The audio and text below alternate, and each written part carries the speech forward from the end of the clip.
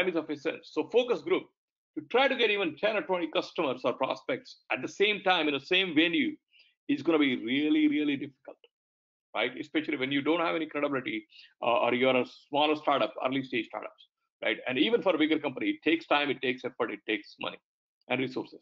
One. Number two, even when you get there, the effectiveness is marginal at best. Why?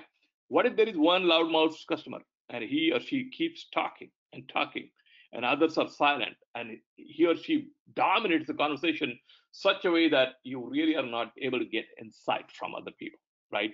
So sometimes it can backfire. Uh, so it takes time and may not be as effective. That doesn't mean people should not do it but for early stage startups i won't recommend that right? I, I won't recommend that. Customer interviews yeah they do take time but you know you go one by one by one get 15 20 and you actually have pretty good insight if you do it right right? So your speed of learning is actually a lot faster and you start getting every time you talk to the customer even if you did five you are actually getting better at interviewing them and getting better at identifying the patterns identifying the pattern.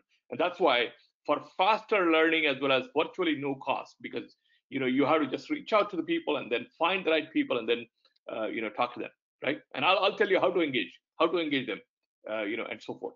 So uh, again, pick customer interviews, and that's what we're going to focus on in today's conversation.